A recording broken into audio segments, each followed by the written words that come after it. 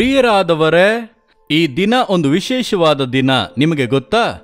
ಅದೇ ಏಸುನ ಮೊಟ್ಟಿಗೆ ಇದ್ದಾರಲ್ಲ, ಅವರು ನಿತ್ಯವೂ ನಮ್ಮೊಟ್ಟಿಗೆ ಇದ್ದಾರಲ್ಲ, ಆದ್ದರಿಂದ ಪ್ರತಿನಿತ್ಯವೂ ವಿಶೇಷವಾದ ದಿನವೇ.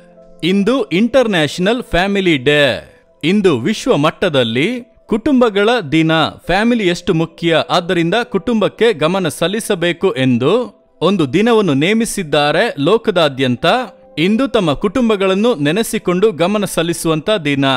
ನಾವು ದಿನವೂ ಕುಟುಂಬ ನೆನೆಸುತ್ತೇವಲ್ಲ? ಕುಟುಂಬ ಪ್ರಾರ್ಥನೆ ಎಲ್ಲ ಮಾಡುತ್ತೇವಲ್ಲ? ಹಾಗೆ ಮಾಡುತ್ತೀರಾ? ಕುಟುಂಬವಾಗಿ ಪ್ರಾರ್ಥಿಸುತ್ತೀರಾ? ಫ್ಯಾಮಿಲಿಯಾಗಿ ಸಂತೋಷವಾಗಿದ್ದೀರಾ? ಯಾಕೆ ದೇವರು ಕುಟುಂಬವನ್ನು ಉಂಟು ಮಾಡಿದರು ಕುಟುಂಬವಾಗಿ ಸಂತೋಷಿಸಿ ಹರ್ಷಿಸಲೆಂದೇ ಕುಟುಂಬ? ಕುಟುಂಬವು ಚೆನ್ನಾಗಿದೆ ಅಂದರೆ ಅದೊಂದು ಚಿಕ್ಕ ಸ್ವರ್ಗವಾಗಿ ಇರುತ್ತದೆ. ನಿಮ್ಮ ಕುಟುಂಬ ಚಿಕ್ಕ ಸ್ವರ್ಗವಾಗಿ ಇದೆಯಾ? ಇಲ್ಲವಾ? ಬರೀ ಜಗಳವಾ? ಬರೀ ಸಮಸ್ಯೆಯ? ಏನ್ ಮನೆ ಇದ್ದು ಮನೆಗೆ ಬರುವುದೇ ಕಷ್ಟವಾಗಿದೆ ಎಂದು ಅಂದುಕೊಳ್ಳುತ್ತೀರಾ? ಅದನ್ನು ಬದಲಾಯಿಸಲು ಏಸು ಶಕ್ತನು. ಒಂದು ವಾಕ್ಯವು ಹೇಳುತ್ತದೆ, ಕರ್ತನಾದ ಏಸುವಿನ ಮೇಲೆ ನಂಬಿಕೆ ಇಟ್ಟರೆ ನೀನು ನಿನ್ನ ಮನೆಯವರು ರಕ್ಷಣೆ ಹೊಂದುವಿರಿ. ಕುಟುಂಬವೇ ರಕ್ಷಣೆ ಹೊಂದಿದರೆ, ಗಂಡ, ಹೆಂಡತಿ, ಹೆತ್ತವರು, ಮಕ್ಕಳು ಎಲ್ಲರೂ ಕೂಡ ರಕ್ಷಣೆ ಹೊಂದಿದರೆ, ಆ ಒಂದು ಏಸುವಿನ ರಕ್ತದಿಂದ ತೊಳೆಯಲ್ಪಟ್ಟ ಒಂದು ಅನುಭವಕ್ಕೆ ಬಂದರೆ, ಆ ಕುಟುಂಬ ಚಿಕ್ಕ ಸ್ವರ್ಗವಾಗಿ ಮಾರ್ಪಡುತ್ತದೆ.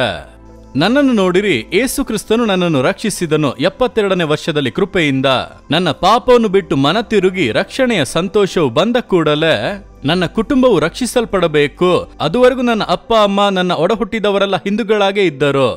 ಆಗ ಅವರು ರಕ್ಷಿಸಲ್ಪಡಬೇಕು. ಏಸುವನ್ನು ಹೃದಯದಲ್ಲಿ ಸ್ವೀಕರಿಸಿಕೊಂಡು ಪರಲೋಕ ಭಾಗ್ಯವನ್ನು ಹೊಂದಬೇಕೆಂಬ ಭಾರ ಬಂದಿತ್ತು.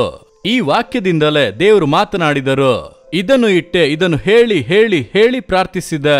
ನೀನು ನಿನ್ನ ಮನೆಯವರು ರಕ್ಷಣೆ ಹೊಂದುವಿರಿ ಎಂದು ಹೇಳಿದ್ದೀರಿ. ರಕ್ಷಣೆ ಹೊಂದಬೇಕು ರಕ್ಷಣೆ ಹೊಂದಬೇಕು ರಕ್ಷಣೆ ಹೊಂದಬೇಕು. ಈ ವಾಕ್ಯ ನೆರವೇರಬೇಕೆಂದು ನನ್ನ ಕುಟುಂಬಕ್ಕಾಗಿ ಪ್ರಾರ್ಥಿಸಿದ.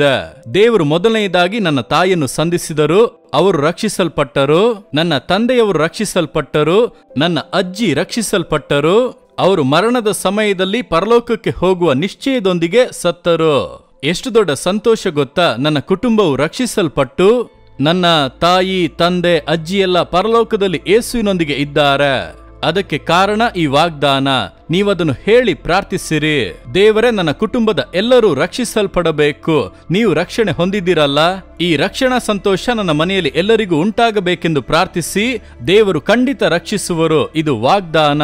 ಅದನ್ನು ಭದ್ರವಾಗಿ ಹಿಡಿದುಕೊಂಡು ಪ್ರಾರ್ಥಿಸಿದರೆ ನಿಮ್ಮ ಕುಟುಂಬವೇ ಒಂದು ಸಂತೋಷವಾದ ಸ್ವರ್ಗವಾಗಿ ಮಾರ್ಪಡುತ್ತದೆ. ಪ್ರಾರ್ಥಿಸೋಣವಾ, ತಂದೆಯೇ? ಈ ಒಳ್ಳೆಯ ಕುಟುಂಬ ದಿನಕ್ಕಾಗಿ ಸ್ತೋತ್ರ. ಕುಟುಂಬ ಜೀವಿತ ಸ್ಥಾಪಿಸಿದವರು ನೀವು, ನಮಗೊಂದು ಕುಟುಂಬವನ್ನು ಕೊಟ್ಟಿರುವವರು ನೀವು, ಕುಟುಂಬ ಪೂರ್ತಿಯು ರಕ್ಷಣೆ ಹೊಂದುವುದೆಂದು ವಾಗ್ದಾನ ಕೊಟ್ಟಿರುವವರು ನೀವು. ನನ್ನನ್ನು ರಕ್ಷಿಸಿದ ದೇವರು ನನ್ನ ಕುಟುಂಬದಲ್ಲಿರುವ ಎಲ್ಲರನ್ನೂ ರಕ್ಷಿಸಿ, ಪಾಪದಿಂದ ರಕ್ಷಿಸಿ ಸಮಾಧಾನವನ್ನು ಕೊಡಿರಿ. ಒಂದು ಚಿಕ್ಕ ಸ್ವರ್ಗವಾಗಿ ಒಂದೊಂದು ಕುಟುಂಬಗಳನ್ನು ಮಾರ್ಪಡಿಸುವಂತೆ ಏಸುವಿನ ನಾಮದಲ್ಲಿ ಪ್ರಾರ್ಥಿಸುತ್ತೇವೆ ತಂದೆಯೇ. ಆಮೇನ್ ಆಮೇನ್.